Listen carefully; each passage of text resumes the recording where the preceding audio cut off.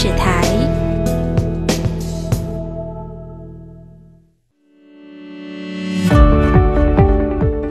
接下来，请收看《舒适好时尚》。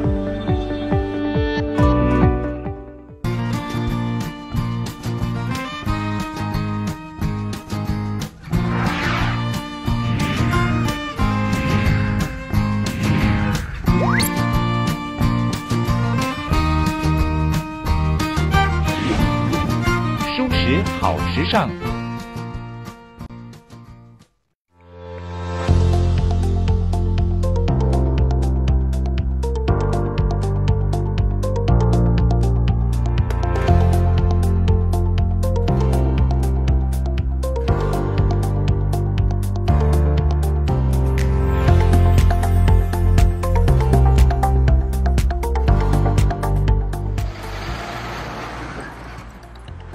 Hello，大家好，我是杨子怡。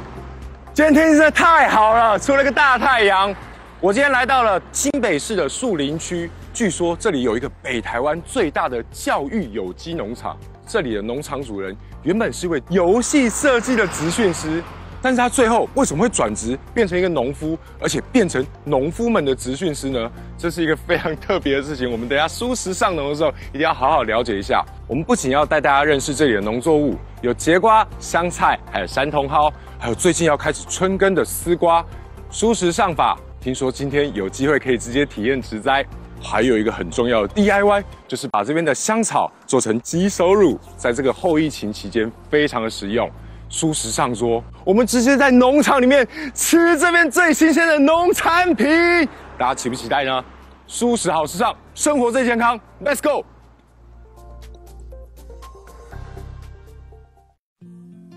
所以为什么想不开啊？直接问你为什么想不开？因为九十六年的时候哦有一波非常多的一个失业潮，那这波失业潮偏向在中高龄，就是满哦四十五岁以上。嗯那因为我之前一直都做的是资讯类，对我们要的学生跟业界要的学生都在二十六岁左右。哦，那这一波中高龄失业潮来到我们这边来面试，基本上都是刷掉的。后来我去思考的时候，要怎么样用我的专业来让我们的中高龄，还有像一些转职的，还有家里休耕的，可以来做所谓的农业。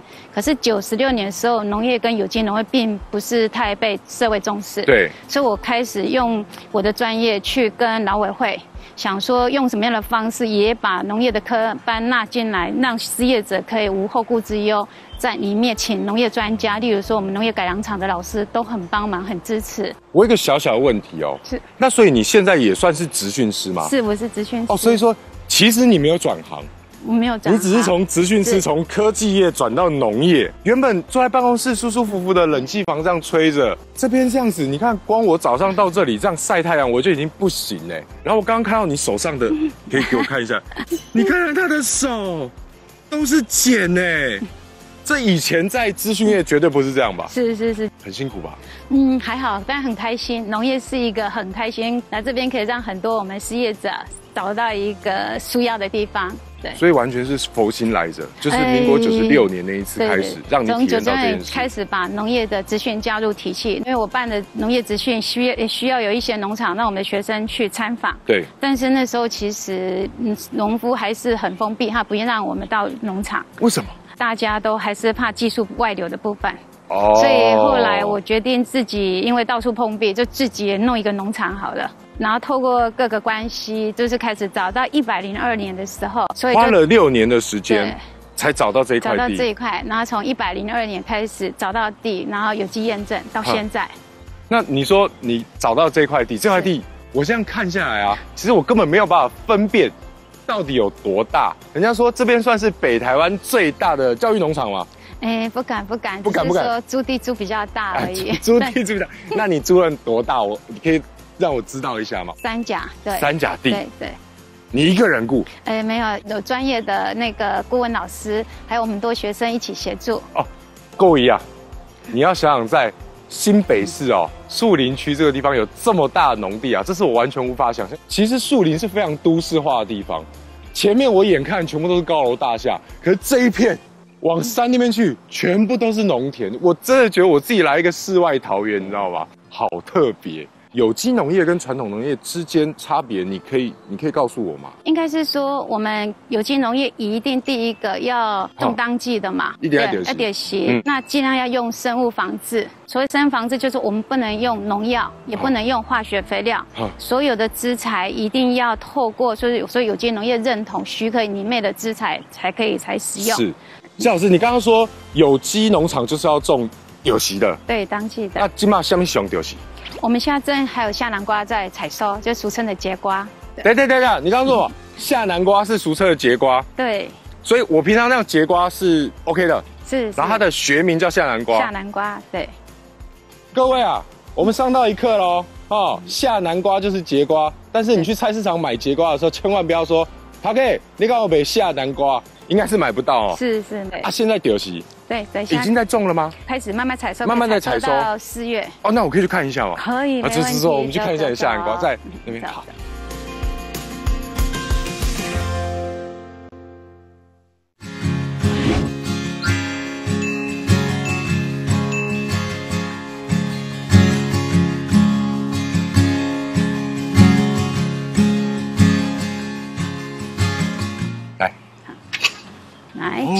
谢谢谢谢谢谢，来来来来来，请请请请请。哎呦，节瓜助温室啊！对，哇，台湾目前有四个品种，三个颜色。那我们目前种植的三个颜色是黄色，嘿，好，然后浅绿刚刚看到浅绿浅绿，对，然后深绿，哦，哎呦，看到了对，这叫我们所谓的台南二号，哈，好，那浅绿是什么？浅绿台南三号，三号、然后黄色是四号。四号，那一号嘞？哎，目前一号还没有呢。是这里没有还是？目前台湾还没有命名到一号这个学名，对那，为什么会从二号开始？要问专家。而且我发现很特别哦，这里还要放一个捕鼠器，对，那为什么？因为我们节瓜最近都被老鼠偷吃，因为连老鼠都喜欢吃节瓜。是田鼠吗？哎，田鼠，田鼠，对。田鼠会跑来吃节瓜？对啊他们是怎么咬？他们是整只吃掉吗？对，还它会？每一个节瓜都啃两口，就换另外一只。偷嘴啦！对你如果整颗吃掉，你就吃饱，这样吃完就好了。是你不要每一只都啃两口，这样子是不行啊，挑食的感觉很不对。这已经多久了？这我们去年十一月开始定植种到现在，那这样估计可以采收到三月底四月初。对十一月开始种，对，然后可以收到三月底。酱南瓜如果说它真的采收最后一波，应该会在五月左右，一定要全部采收完毕，因为它的高温不可以超过二十五度。温度太高，它病虫害会相对的增加。我们夏南瓜还有一个比较大的一个费工，就是我们早上八点之前一定要人工授粉。啊，结果有开公花跟母花，这有一个有没有一个珠珠有个对，这叫母花。嗯嗯，好，那我们要找出另外一株公花，因为它早上大概九点的时候花就全部都会谢掉了。哦，对这边都有花，那个算对这个也都算花嘛？对，这是花。那我们就是要拿着公花，然后对着母花，它开盛开的时候，去把它粉沾一下，这个果才不会落下来。哦，这么麻烦。对对对早上八点以前，对，所以最好是温度的问题吗？温度的问题哦，太热它就花就很快就会合起来，就是它的蕊柱我们。现在哪一颗节瓜可以把它摘下来的？我看到很大只，那个已经像香蕉那个可以。好，你们用转的转下来对，用转，因为我们没有带镰刀，就用转的。哦，对，一般我们是用刀子剪，那你转下来是可以。转下哇，对，十个哎，好漂亮，好漂亮这太像香蕉了吧？太太像香蕉了。大概多大要采收它？我们大概大概抓大概是二十二左右，二十二公分对。哦，对当然这个还不够大，对对这个大概十十十七吧，十七左右七、。十七到二十二到二十五，我们觉得采下来是最口感最好。我我其实我自己没有吃过黄色节瓜，我都是吃绿色比较多是对。它这个摸起来啊，很饱满啊，就是而且你可以知道里面的水分很多，而且其实满层的，很有重量。对，它有重量的。对对对。那有机的节瓜跟一般传统农业种的节瓜，它们差别在哪里？差别在哪？因为我没有种过灌血农法，我一开始我就只有接触有机。对对对但是对。灌血农法大部分很多可能都种露天比较多，对那它比较不好防治，因为讲真的就是要喷药，哦因为它其实会自带白粉，就是我们所谓的白粉病。节瓜很怕雨水，所以一般我们要种温室。还有，其实它的栽种技巧还是在于浇水，节瓜为什么怕雨水？因为它的梗哼，梗的问题有没有？嗯这种这种梗会很容易积水。哦，对就像姑婆芋上面，对对对然后会积水这样。那如果它积水的话，它里面下面的根有可能会烂掉茎也会烂掉。对对，其实节瓜它的一个种植诀窍，第一个人工授粉，再来就是在照顾的部分，其实是要用烟盖法。因为今天我们要拍摄，所以我早上我们那个大哥没有先浇水，好不然一般我们就会开水，让它这个整个吸沟，让它灌水，让它哦，慢慢吸。我们现在走的这个其实是水道，对对对然后从这边，然后直接进去土壤，对，让然后让它吸收。对哇，其实种的方法跟多肉的感觉还蛮像啊，对没然后直接错加在那个土壤里面让它吸收，不可以加到植物上面。对哎，好特别哦，等一下就可以吃啊，对，没问题，等一。下你们就可以吃到。嘿，我来看看你这边，这边大概有几株啊？这里吗？哦，嗯好多哎，我没有数哎。我帮你数，我们现在来数看到底有几株。这样是算一株嘛？这样算一株。对对对。一二三，我来算一下。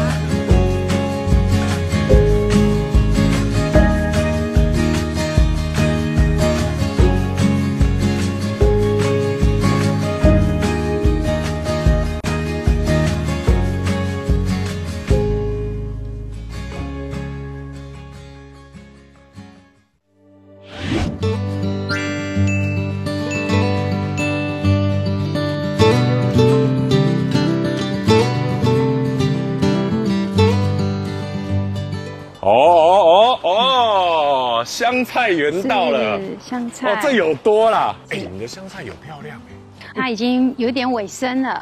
这有机的嘛？对有机的，其实我可以直接吃的嘛，你试试看，很香，非常香，味道非常浓。够一啊，没有在开玩笑。对你知道我我走进来啊，刚刚是脚啊不小心拨到一下，那个味道就一直散出来。然后我刚刚摘一片下来啊，它这个味道就已经串出来嘞。啊，不喜欢吃香菜的没关系，你们自己回避一下。喜欢吃香菜的，它香菜种的好好吃哦，好香哦。香，对，非常香，真的非常香香哎香。我自己大概就是一株啦，其中一株一个小盆栽这样子种。平常要煮菜啊，然后要调酱的时候就掰一下掰一下，然后稍微过一下水就可以吃了。嗯这边这样满满这样一片，那怎么办？那现在不赶快采收掉吗？哎，差不多了，这星期要全部采收了。这星期要全部采收。采香菜要不要跟大家讲一下怎么采？哎，一般其实我们大概也是留到二十，像这个都已经太高了好，我们取一节大概二十公分左右。好，像这个比较老的，我们就是不再取下面，我就取上面这个比较有叶子的部分。嘿，一般我们是用剪刀剪，不会用手裁。对一定用剪刀剪，我们如果要卖的话嘿，我们其实是要连根拔起，哦然后头刚刚要去直接从土对这样拔起来对我们要把土洗干净才可以销售。哦，所以是这样整整包整包这样放起来，整包整包卖。那我们一般下菜的话，会用到筋吗？不会吧？还是直接这样全部剁碎？哎，全部剁碎啊，可以啊。哦对啊，那都很香，整株可以入菜啊。我自己在种的时候，我是一个盆栽啊，然后我都是这里这样把它，就是用剪刀把它剪到对这样，然后它还会再长出来。哎，你只要留有侧芽的部分，它就会再长，所以我们应该在下面一点或哦者在下面一点让它侧芽长出来。在这里，对然后它就会再从这边再对再长出来。长出来。这个侧芽这个地方，所以我们平常自己种的话，我们就直接从侧芽这边掰断，剪断是最好啦，它就会再长出来了。所以大家如果在家里，其实种香菜不难，但是就是我们大概要去抓它的，就是什么时候老掉的时候，你要赶快把它拔掉。就是一个时间点。像这样子种好这样子，一般的话大概要多久时间？嗯，一般我觉得大概四十五天就全部都要采收了。四十五天啊，对大家记得就是大家抓一下，因为每个人的是不太一样了，因为留大留小可以自己决定。嗯嗯对。啊，香菜你采完以后，除了卖以外，你自己还会做什么样？哎，基本上其实我大概还是分送亲朋好友啦。嗯，就送给亲朋好友，我们算对对对对对，有有有有，每个人都有。我们算亲朋好友对对对，啊我们先去看其他东西，然后等一下我再抓时间来帮你采香菜。没问题。好要赶快。采收了啦，这个不行啦，胸部啊，呃，等你们来没？等我们来。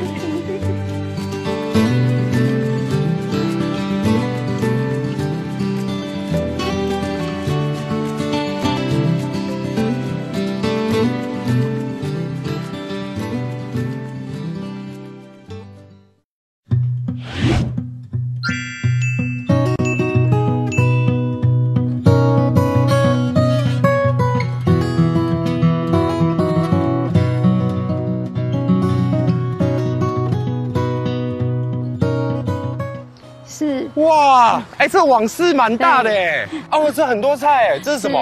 这是罗曼。罗曼。好，这是我们罗曼，其实生吃也是非常好吃。它可以生吃，对不对？可以，可以，没问题。对。然后这是绿宝石。绿宝石啊？对。绿宝石是属于什么？也是属于莴苣类的，湖山莴苣。福山莴苣，我们现在已经证明了叫福山莴苣。这是什么？这是那个甜菜，但是我们俗称牛皮菜。牛皮菜啊。然后这羽衣甘蓝。啊，羽衣甘蓝。对。哇，经济价值超高，营养价值超高，羽衣甘。是。那那个是葱吧？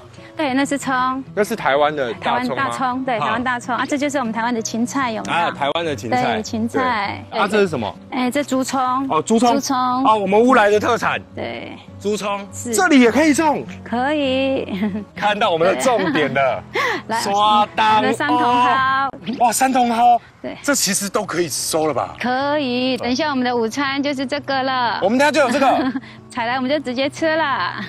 哦，三茼蒿。跟我想象不太一样，因为我们刚刚采那个香菜的时候很香啊。对，对，这个三茼蒿采下，摩比呀。它要煮，煮下去才会有味道。对，因为三茼蒿照理说它煮在汤里面那个味道超重，它煮火锅最赞的。对对对，你你太专业，专业的人士哦，他们在做事情的时候，往往让我们无法发觉，他已经采好一把。教我们一下怎么采啊？一般蒜头因为它侧芽会一直长出来，对，所以我们都大概采大概长度大概是十五公分，一个手掌大小，那个男生的对。哦，一个手掌大小，因为这样子直接洗干净就可以直接煮了，不用再修过。这边就不要了。对，那比较老的就不要了。哦，这里就不要，是从上面这边。是。哦，所以就是这样。哦，这样子拔掉，在这里这样。大概种到这样子要多多久时间？大概两个多月的啦，一个多月都可以慢慢采，慢慢采，然后慢慢高，差不多啦。你也是收到三四月，应该就抽台，它就开花了，像菊花的那个概念。我刚刚听到一个专有名词，抽台。什么叫抽台？抽台就是它会土长。啊，土长就是已经到末期了。啊，土长又是一个专有名词，它就自己长，长出一朵花这样。对对，太阳不够的时候土长，不会是有三头蒿的样子。哎，三头在，但是就开花了，对，它就一般我们就不会再采下来吃了，就不会吃了。哇，赞！来来采来采，老师要看我采对不对啊？对，来来。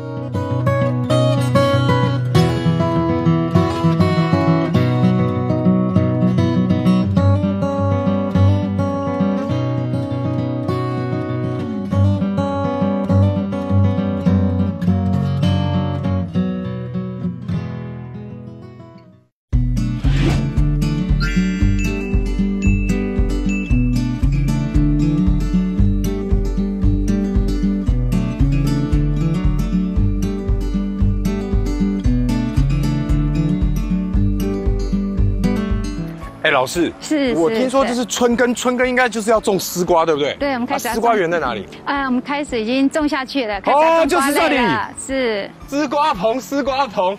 一般我们看到丝瓜棚都是用那种竹子啊，这样搭起来，有没有？这是已经用网子弄好了。对，我们用。所以我们这样怎么种丝瓜？丝瓜不是直接种在上面哦。呃，应该是我们丝瓜直接把它定植下去之后，等到它成长稳定性再高一点的时候，我们会把它这个防风的塑胶袋给拿起来，然后直接把它倚靠在我们的攀藤网，让它直接攀藤上去。老师，等等，所以你丝瓜已经种好了？种好了啊。所以我今天没有办法体验种丝瓜。是，那这个套子是现在可以拿起来的可以啊，可以。你说它是用来防风的？防风的，对。哦哦，对，其实啊，它这边还有一个夹，把它固定。有一个 U 型夹，有没有固定？然后把这个套子套在外面，让它防风。先让它那个比较稳壮一点的时候，再再把它拿起来。好，拿起来。然后接下来呢？接下来就直接我们把它扶植在我们的那个攀藤网上面，拿黄色小夹把它夹住。大概长到多高的时候，我们要把它带过去？差不多它的已经攀藤到上面的时候。哦，所以它大概长到那个高度的时候，我们就可以慢慢这样，对，你去把。对，然后就可以你的那个攀藤网，它慢慢攀攀藤上去，那丝瓜就开始慢慢会开始结瓜了。那这个是从种子育苗吗？一种是我们可以买种子先育苗，育了苗之后两个礼拜后我们就给它定植。那一种的话，如果说不想要自己育苗比较麻烦，我们就直接买现成的苗进来种。哦，对，就是然后把它放下去叫定植，对，因为我们就是定在这边，对对，在这边孵育。对，那丝瓜，我看你隔。很远呢，是它有一个间距，它会攀藤。这样子大概我们是抓的大概是两米左右，两米左右，对哦。然后它就有一根这一支，是。然后主要就是我一支这个铁铁杆，我这边就种一株，都一株，然后就让它爬这边。哦，其实很多株哎，这样子等它种起来就很爽啊，看起来那个画面又很漂亮，果实累累的。大概什么时候会可以长到上面来？像二月初种的话，嗯大概我们四月开始，两个月，对，抓两个月，两个月其实就可以采收了。对，差不多。那我们如果说在种植丝瓜的时候有没有特别要注意？除了一开始防风这个以外，其实讲真的，它最终还是防风。那之后丝瓜它也是慢慢上来，我们再慢慢下面的叶子再去理枝掉就好了。上去它就一定会结果吗？因为种露天的，它会自体授粉，一定会。那它的施肥或者说它的浇水呢？浇水的话，我们就是一般人工浇啊。哈，对，施肥我们大概一个月追肥一次。哈，OK，好，那我们要把它套起来了，是，还是要让它继续防风啦。现在真的入夜啊对，风真的越来越大，对，因为它还还还小孩，还小对，还小你还小，你要好好长大哦。两个月后我来看你。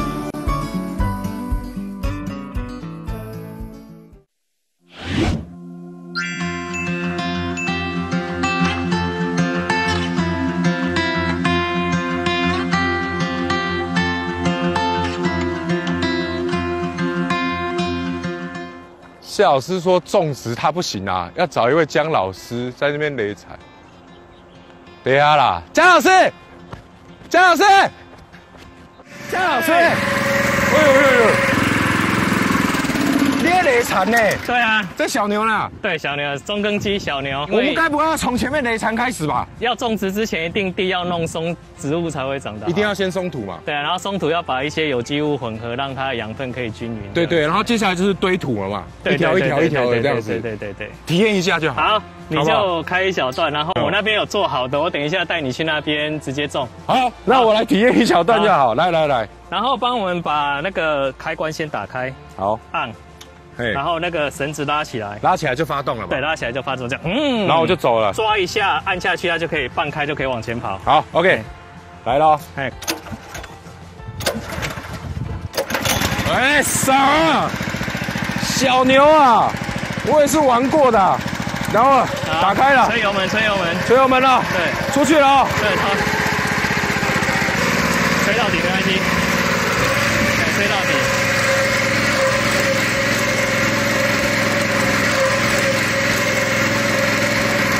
不用，哎，压不下去就往下压就好。对对对对，这样很好。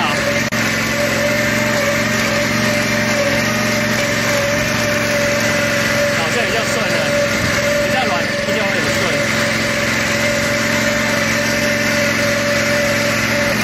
哇哇，不一样不一样。好，关掉。很难打，对不对？因为这个地比较硬了，所以你要打到第二次、第三次之后，你才会比较顺这样子。老师那，那翻土的重点是是不是还要把一些石头剥掉还是什么？石头要另外剪，枯枝要剪掉。啊，枯枝要剪掉，石头要另外剪，这样子。呃但是因为没有办法同时做，所以通常都是一个人就要就要辫子，你要做两次啊。如果有很多人，就是可以分工。同时做嘛，对不对？对对对对好我们今天重点还是放在植栽好了。这个弄完不知道弄到几点了。今天要种什么？今天我们有准备了那个菜苗，我们等一下来种植。什么菜都有。呃，等一下让你挑。好，让我挑，我们来去种植吧。走走走走走。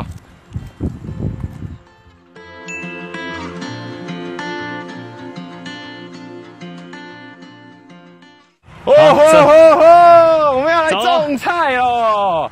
老师，我这个是紫罗曼嘛？对你那是奶油罗曼。啊，我们是要怎样放旁边哦？对，先放旁边。二，来，种植这个哈，我们今天先不求快嘿，先把它种好。好，所以你可以一个一个慢慢种。嘿，对间距大概是多少？间距大概是一个手掌，哈十五到二十公分。来，你边种我边学边看。这个叫什么？什么盘，对不对这个是育苗的盘，啊，育苗的盘。从下面的土把它弄起来，然后它就会掉下来这样子。来，我给给大家看一下这下面有没有，很像那个蒟蒻有没有果冻的感觉？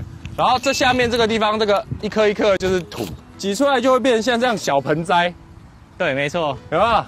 小盆栽，然后我们就可以育苗了。对，然后你就挖挖，挖土，然啊后把它挖多深埋进去，不用很深，就是把它的根盖住就行哦，根盖住就可以了。啊，我这样是合格的吗？可以，可以，这样可以，可以然后大概一个手掌，对，可以，嘿，没有很难嘛。没有很难。那其实前面的翻土跟堆土是最重要的。对，所以你看，我们这个是还没有完全弄好的，你等一下可以看到那边有个弄得很漂亮的，就是嗯连这个都没有这种石头都没有这种石头了。对对要全部要剪掉挑掉。对，要挑掉嘿。，我们话不多说，开始种植吧。我们今天要把这两个弄好，种完再来浇水哈。对对对对对，哦，我觉得第一个步骤有点难，就是要把它弄出来。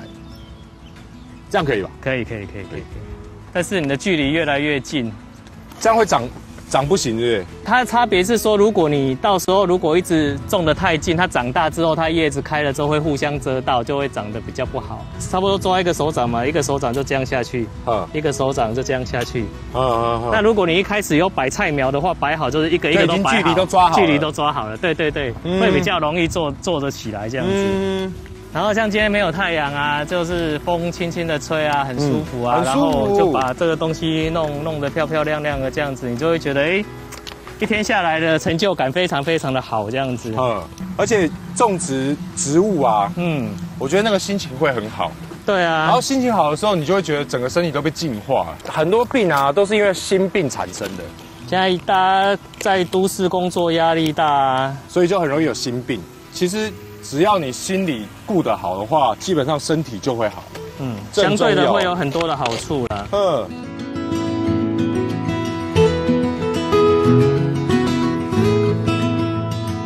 好，最后一个哎搞定，一起到达终点。这一排这样很好看呢。对啊，所以老师，我们现在要浇水，对浇水，浇水，来来来，水量呢？水量就是这样子，呃，应该是说有弄湿就好，但是不要把它泡到太多。好但是要持续浇，不是给它一次太多水。那我看一下你怎么浇。好来，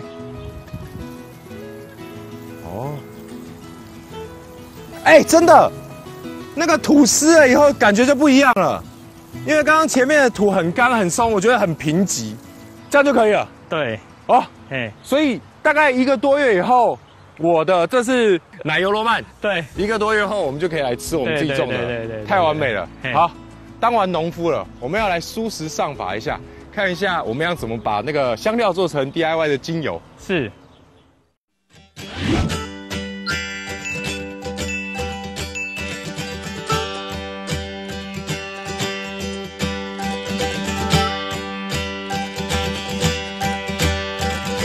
舒适上法 DIY，嚯 老师老师好 Hello，子怡你好哎我们现在就要做纯露，是没错，它这个机器跟精油又不太一样哦。呃，其实它是属于迷你版的那个萃取机，但是嗯因为以这样子的量，事实上要出精油来讲的话，其实会有一点点强人所难。但是茶树的话，它的含油量蛮高，所以事实上你可能可以稍微看到。哦所以这是茶树啊，哦，是没错茶树不都很大颗嘛？我们把它修剪成这样子，呃对大概这个大小就可以了。呃，可以，这是我们俗称的澳洲茶茶树树，对对对，跟我们喝的一般包种茶那个不太一样树种不太一样，科属不太一样。它是很适合做纯露的，呃是，嗯，对所以我们稍微这样剪这样一截，然后清洗一下就可以了。呃对，没错，然后我们这些量嘛？全部都倒进去吗？哦对，可以哦，来哦，我我自己来了。哦好哦来哦，DIY 就要自己来，对自己来，我就把它丢进去。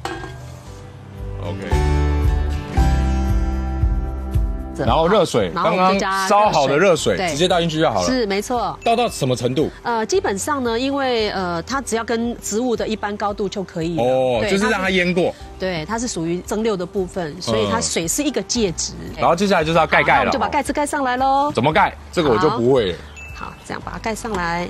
好，这边有一个它上盖的一个插孔。哦它这边只有一个 restart reset，对对对对对？所以我插上去它就给电了。没错，哦，所以我们一定要全部都 setting 好。是。OK，好，那我插上去了哦。大概这样子提炼要多久？呃，如果它是热水的话，然后我们的里面的量没有到很满的状态来来讲的话，差不多十来分钟哦10来分钟就出炉了。对。